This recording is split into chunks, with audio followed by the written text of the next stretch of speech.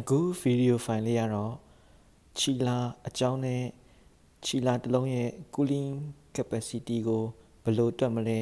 ဆိုတဲ့တွက်ပုံတွက်နည်းအကြောင်းကိုပြောမှာဖြစ်ပါတယ်ချီလာတစ်လုံးရဲ့ cooling capacity ကိုမတွက်ခင်ချီလာနဲ့ပတ်သက်တဲ့နာမည်တွေချီဝတာကွန်ဒန်ဆာဝတာနဲ့ပတ်သက်တဲ့နာမည်တွေကိုပထမဆုံးမိတ်ဆက်ပေးပါရစေ။ ချီလာအမျိုးအစားတွေကိုနာမည်ပေးတဲ့အခါမှာ heat rejection လုပ်ပုံလုပ်နည်းနဲ့အသုံးပြုထားတဲ့ compressor ရဲ့အမျိုးအစားပေါ်မူတည်ပြီးတော့နာမည်တွေကိုပေးလို့ရှိပါတယ်။ဥပမာရေကိုအသုံးပြုပြီးတော့ heat rejection လုပ်တယ်ဆိုလို့ရှိရင် water cool ချီလာလို့ခေါ်ပြီးတော့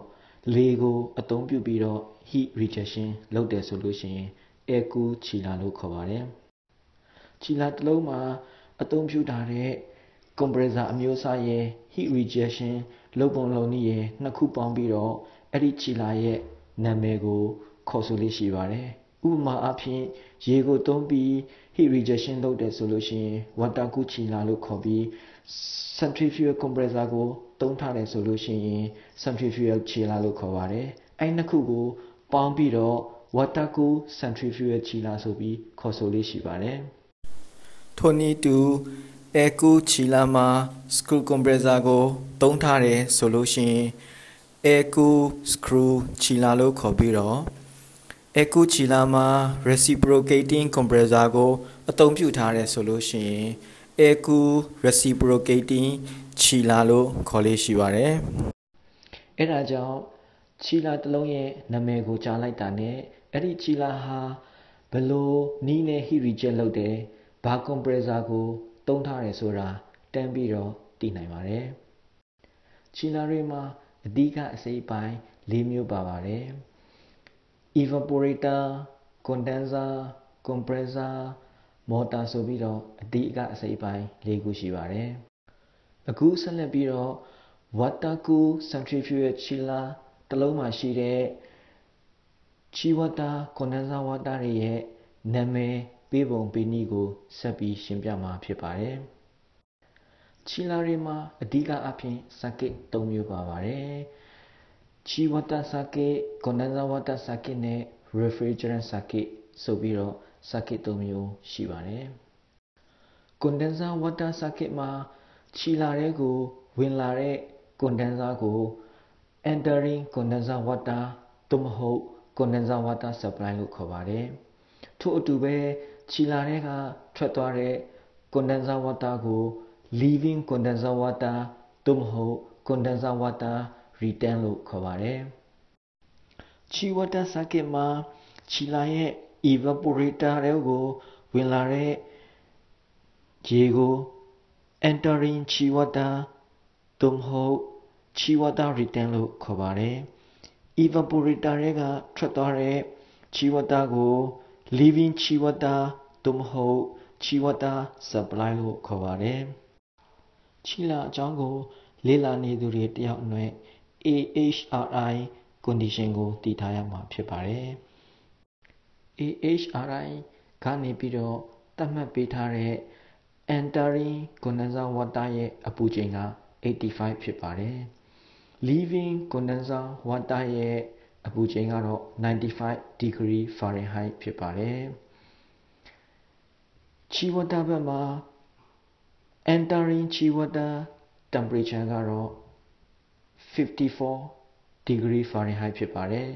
leaving ချီဝတာ temperature ကတော့44 degree Fahrenheit ဖြစ်ပါတယ် AHRI ကသတ်မှတ်ပေးထားတဲ့ flow rate တွေကိုလည်းသိထားပါမယ် condenser water အတွက် AHRI ကသတ်မှတ်ပေးထားတဲ့ condenser flow rate က Chiller cooling capacity တဒံအတွက်3 gallon per minute ဖြစ်ပါတယ်။ဥပမာအားဖြင့်တန်တရာရှိတဲ့ chiller တစ်လုံးရဲ့ condenser water flow rate ကတော့300 GPM ဖြစ်ပါမယ်။ထို့အတူတန်တရာရှိတဲ့ chiller တစ်လုံးရဲ့ chi water flow rate က240 gallon per minute ဖြစ်ရပါမယ်။ chiller တစ်လုံးရဲ့ cooling capacity ကိုတွက်ဖို့ parameter 3ခုလိုအပ်ပါတယ်။ Chi water supply temperature chi water return temperature နဲ့ chi water flow rate ၃မျိုးလိုအပ်ပါတယ်ချီလာရဲ့ cooling capacity ကို evaporator ဘက်ကနေတွေ့ရပါတယ် evaporator ဘက်ဆိုတာ chi water circuit ဘက်ကိုပြောတာပါ cooling capacity ဆိုတာ chi water flow rate နဲ့ chi water differential pressure နှစ်ခုမြောက်ထားတာပါ differential pressure ဆိုတာ entering chi water temperature တွေက leaving chi water temperature ကိုနှုတ်ထားတာဖြစ်ပါတယ် cooling capacity ရဲ့ပုံသဏ္ဍာန်က